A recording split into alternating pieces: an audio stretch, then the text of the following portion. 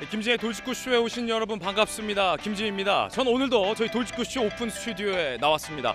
경찰이 이재명 의원의 부인 김혜경 씨의 출석 소환을 통보한 상태인데 어, 그때 긁었던 그 법인 카드 진위를 두고 공방이 벌어지고 있습니다. 이재명 의원 김혜경 씨 측은 그 법인 카드로 긁은 줄 몰랐다라고 해명은 하고 있습니다만 논란은 여전합니다.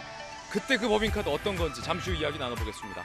저는 비가 오나 눈이 오나 매일 아침 이곳에서 여러분을 기다리겠습니다. 김진의 돌직구 쇼 지금 라이브로 시작합니다. 잠깐만요.